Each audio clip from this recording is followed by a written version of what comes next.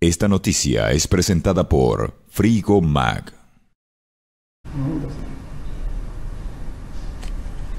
Y están impulsando lo que es el primer bachillerato de mecatrónica aquí en Encarnación. Concejal, bueno, usted está procurando de que esto se dé. Asimismo, muy buenos días. La verdad que una inversión muy importante del SNPP y también del Ministerio de Educación en mi ex colegio, el CRE, el Centro Regional General Patricio Escobar, que cuenta con una instalación totalmente equipada con eh, maquinarias ¿verdad? y elementos para prácticas en, en esta tecnicatura tan importante que es la mecatrónica para estudiantes del bachillerato técnico que podrían ya ahora estar eh, en el primero, segundo tercero de la media preparándose para después estar trabajando en diferentes empresas, industrias que tenemos acá en el departamento principalmente.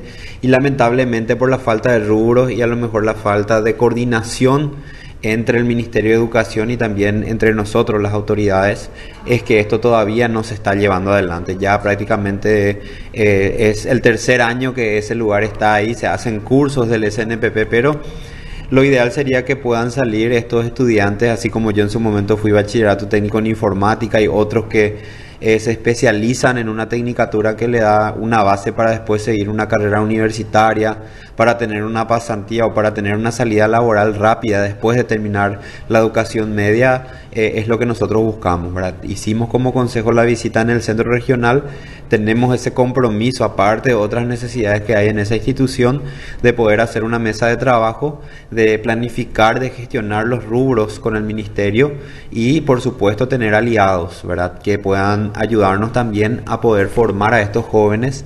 Sabemos de que esta especialidad va a lograr de que pronto ya ellos puedan estar, aparte de con tener un título eh, de especialización como bachilleres técnicos en mecatrónica, tener un trabajo ya seguro, ¿verdad? Eh, tiene una salida laboral rápida, hay falta de mano de obra calificada, lamentablemente tenemos que contratar a personas de otros departamentos, inclusive de otros países, para poder reparar o para poder estar a tiempo completo trabajando en estos lugares, ¿verdad? Entonces darle esta buena noticia a los adolescentes, a los padres, a los jóvenes, ¿verdad? Que si todo sale bien, el año que viene ya podremos estar con la primera promoción, esa es la idea, continuar con las capacitaciones. Eh, eh, como cursos que se están dando, ¿verdad? Sí, hoy día eh, son solamente en forma de cursos. Que sí mismo, y tener también una alianza y eh, un convenio, ¿verdad? Que ya lo tenemos con la municipalidad y las universidades que a lo mejor pueden estar eh, ayudando también haciendo ellos sus prácticas como las carreras principalmente de ingeniería informática, ingeniería civil, ingeniería en electromecánica que pueden estar también utilizando estos equipamientos que nosotros contamos.